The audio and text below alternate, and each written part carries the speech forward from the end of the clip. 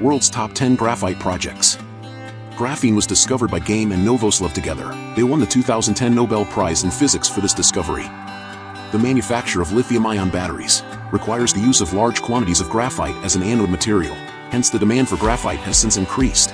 Number 1. Balama North slash Nicanda Hill.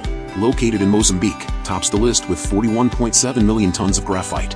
It is in the same province as Syrah Resources Balama Mine, the world's largest graphite production facility. Number 2. Sarytogan. Sarytogan graphite is located in central Kazakhstan as 36.3 million tons of graphite. Number 3. Lac Guéret. Mason Resources Lac Guéret is located in Canada as 11.3 million tons of graphite reserves. Number 4. Mahenge. BlackRock Mining's Mahenge project in Tanzania contains 9.3 million tons of graphite. Number 5. Siviour. Located 15 kilometers from Arno Bay, South Australia with 5.2 million tons of graphite reserves. Number 6. Epanko. The Epanko Graphite Project in Tanzania has reserves of 4.8 million tons. Number 7. La Loutre, located in Australia. Its graphite reserve is 2.9 million tons. Number 8. Malingunde, located in Malawi, contains 2.733 million tons of graphite. Number 9. Balama Central, located in Mozambique. The Balama Central project is almost neck and neck with Malingunde, with 2.732 million tons of graphite. Number 10. Bunyu, located in Tanzania. This project contains 2.3 million tons of graphite.